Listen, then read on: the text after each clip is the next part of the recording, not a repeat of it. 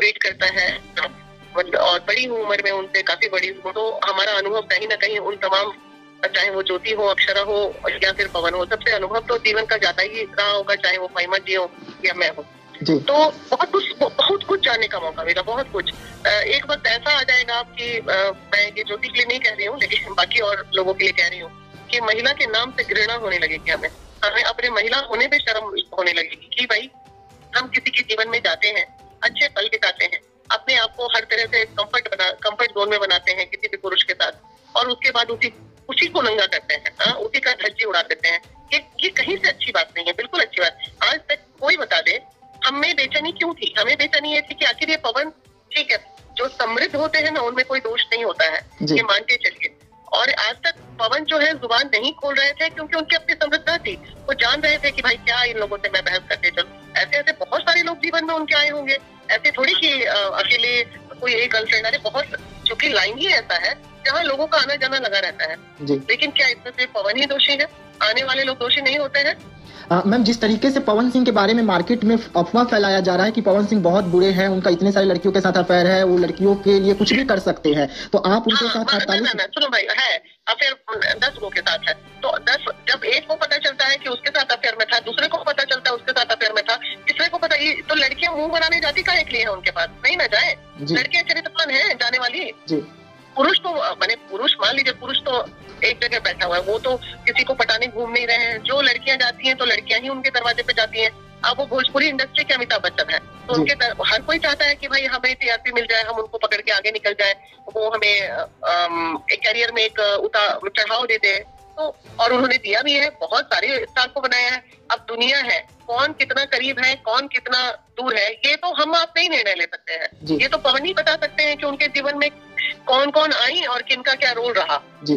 जो कि हमें जानकारी बिल्कुल नहीं थी। जब तक हम उनके बारे में नहीं जान रहे थे तो हमने उनको बुरा भी कहा। जैसे दुनिया कह रही थी हम भी कह रहे थे कि भाई ये किस तरह का मर्द है ये किस तरह का आदमी है। तो थोड़ी कि हमने उन्हें डांटा नहीं या हमने उन पे आक्रोश नहीं जताया महिला विकास मंच में। लेकिन जब बैठे देखे समझे जाने इतने सारे ऑडियो इतने सारे ऑडियो सुनते सुनते चार घंटा बीत गया ऑडियो ही सुनने में मेरा। जी। और इतने सारे वीडियो देखे कभी किसी का वीडियो देखा तो कभी किसी का वीडियो देखा।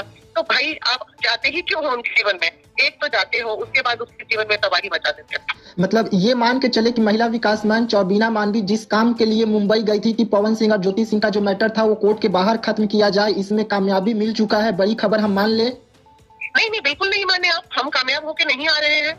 हम कामयाब होके अगर नहीं आ रहे हैं तो ड्यू टू ज्योति की वजह से नहीं आ रहे हैं जिसपे मुझे गुस्सा भी आ रहा है। आज उनकी वजह से मेरा मकर संक्रांति का पूजा मेरे को अपने इन मेरी मदर इन लॉ इंतज़ार करी थी। वहाँ मैं नहीं पहुँच पाई। मेरी फ़्लाइट टिकट मेरी टिकट भाई बनी हुई थी तेरह तारीख की। वहाँ मैंने किसी भी तरह पवन भाई को कन्विंस किया दीपक जी के थ्रू भी किया था। और वो लोग मेरी बात मान भी गए कि दीदी आपका मान रख देखिए चलिए मैं मानता हूँ। आप आई हैं आपका बहुत मान सम्मान है आप मेरी बहन है।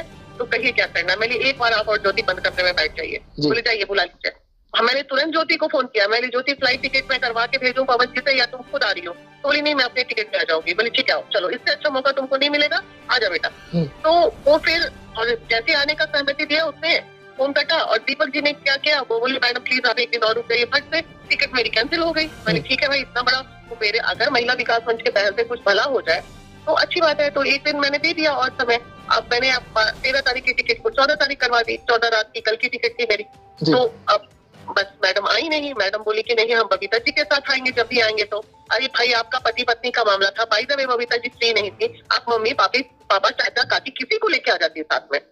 पारिवारिक मैटर था। जब आपने- आ जाती है आपका जब आपने ज्योति से बात किया तो क्या लगा? ज्योति क्यों बार बार भाग रही है इस तरीके से? जब एक टेबल पे बैठने का बात आ रहा है तो भाग निकल रही है। मुझे बुरा लगा इस बात का कि कोई लड़की अगर अपना घर बनवाना चाहेगी कोई लड़की अगर बेचैन होगी कि किसी भी तरह मैं अपने पति से मिल लूँ एक हम आम मतलब एक होता ना जो धरातल की बात कर रहे हैं तो वो एक तिनके का सहारा ढूंढेगी अपने पति तक पहुँचने के लिए।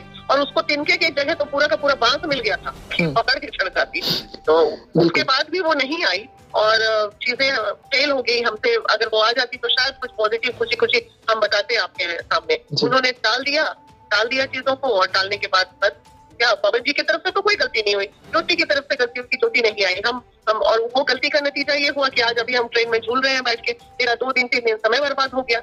आज मेरा दो दिन समय बर्बाद हुआ ना। जितना मेरा वर्किंग डे था। लेकिन ज्योति को इन सब बातों से कोई फ़र्क नहीं पड़ता।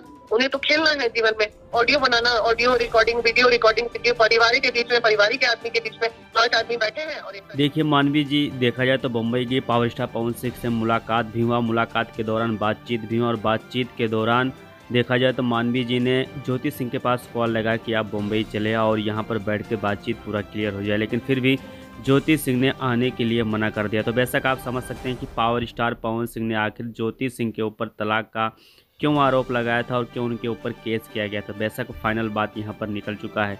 और साथ में अगर देखा जाए तो पावर स्टार पवन सिंह और ज्योति सिंह का जो भी मैटर है वो बहुत ही जल्द ख़त्म होने वाला अब बिल्कुल फाइनल हो चुका कि पावर स्टार पवन सिंह और ज्योति सिंह एक साथ नहीं रहने वाला है इनका डिवाइड होना सौ परसेंट निश्चित है, क्योंकि पावर स्टार पवन सिंह अपनी तरफ़ से बिल्कुल फाइनल कर चुके हैं। तो वैसे किस पे आपका क्या राय चल रहा है? कमेंट बॉक्स में कमेंट करिए ज़रूर और मिलते हैं आपको अगले वीडियो के साथ।